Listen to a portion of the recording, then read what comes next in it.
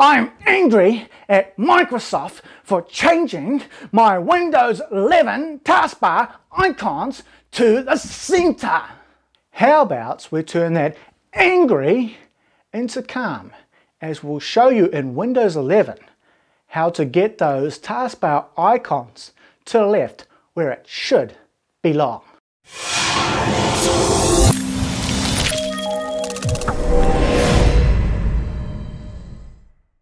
To change your taskbar icons in Windows 11 from the center to the left, you need to right click on the taskbar and a context menu will appear and select Taskbar Settings. This opens up the Settings window and pre-selects the tabs Personalization and Taskbar. Next, find the accordion tab called Taskbar Behaviors and click on the down arrow. You may need to scroll down to see more information. As you can see here, there's a setting called Taskbar Alignment, and it's currently set as Center.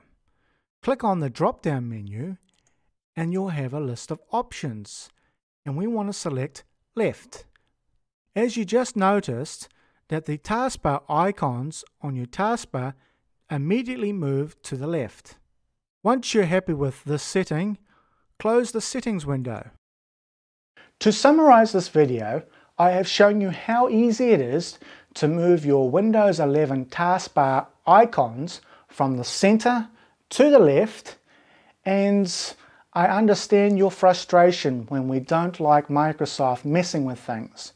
But this was an easy fix this time around. I know you may be angry, but it only takes a few clicks to get it the way you want it. Thank you for watching this video. It means a lot to us. You can help us out by becoming a Patreon or buying stuff from our shop. Otherwise, you can like, share, comment and watch more of our videos. Until the next video, see you later.